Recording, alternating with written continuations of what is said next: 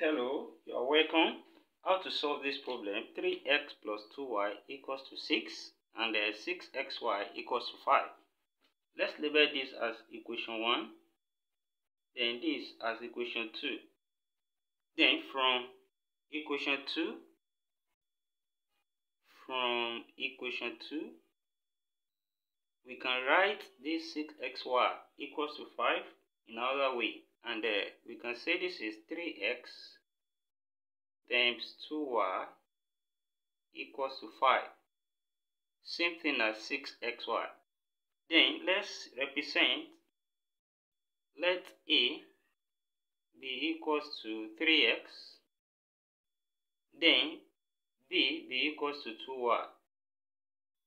Then we can rewrite the equations from what we have. Equation 1 now will now become A plus B equals to 6.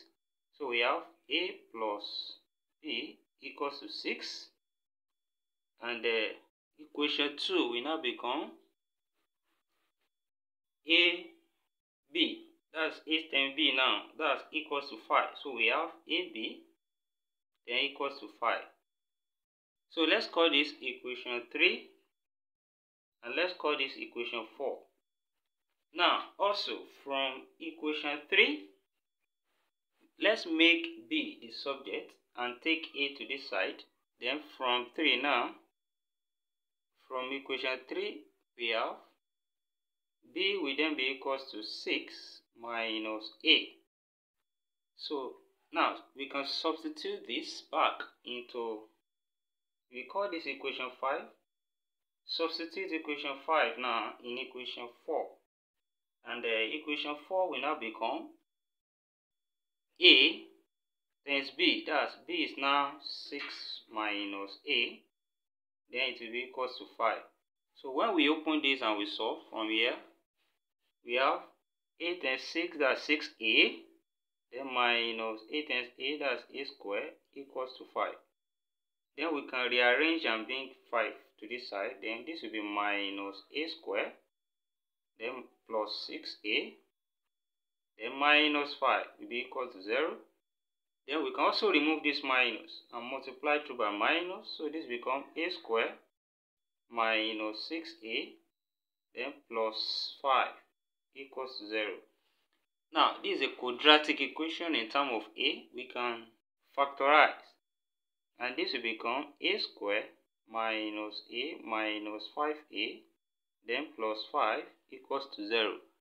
This here, same thing as minus a minus 5 is same thing as minus 6a. And then when we group these two, two, a is common here, take it out, that's a out into bracket a minus 1. Then minus, what is common here, that's 5 into bracket a minus 1 as well, which is equals to 0.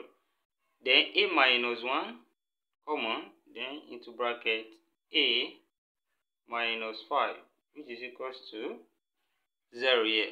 So we have two possible cases here. We have the first case a minus 1 equals to 0 and uh, we have the second case that a minus 5 equals to 0. So here a is equals to 1 and uh, here a is equals to 5. Then from what we represented a as, we represented a as 3x from here we said let a be equals to 3x. So when we take 3x as a now, so that means 3x is equals to 1. So we here as well 3x is equals to 5. So when we solve on this side, we have from here x will be equals to 1 over 3. Then to get the value of y there, we can make use of the equation that we have that says 3x times 2y equals to 5. Here, we replace the value of x here. That's 3 times 1 over 3. That's 3, we cancel 3. Here we have just 2y now. So that's 2y times 1, that's still 2y, equals to 5. Then y will then be equals to, when we divide both sides by 2, that's 5 over 2. And uh, also here we have x equals to divide both sides by 3, that's 5 over 3. And then when we use this equation as well, we substitute 5 over 3 for x here. 3 will cancel 3, remain 5. 5 times 2y, that's 10y. So we have 10y equals to 5. And by the time we divide both sides by 10, we have 5 equals to 5 over 10. And when we reduce it, we have y equals to 1 over 2. So we have the value of x and y here. Then when we write out the solution properly, so we have the set of solutions that we have now are the first you know set we have x1 y1 this x1 is 1 over 3 and y1 is uh, 5 over 3 and x2 here we have 5 over 3 then y2 we have 1 over 2 here we have come to the end of the class. Thank you for watching. And don't forget to subscribe to this channel for more of our videos. Also like these videos and share. See you in the next class and bye for now